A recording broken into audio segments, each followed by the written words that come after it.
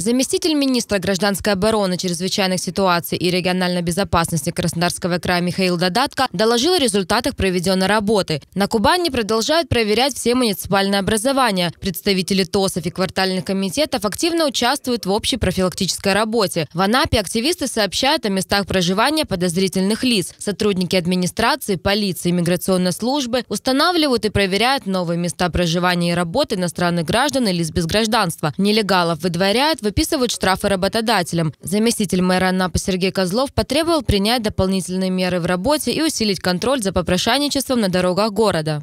Я так полагаю, не местные, э, вот на перекрестках стоят, это по примеру, как Яблоновский мост, как въезжать, там постоянно один. У нас таких случаев не было, но они начинали, начинаются у нас проявляться. Это гастролеры. Я уверен, что это не наши.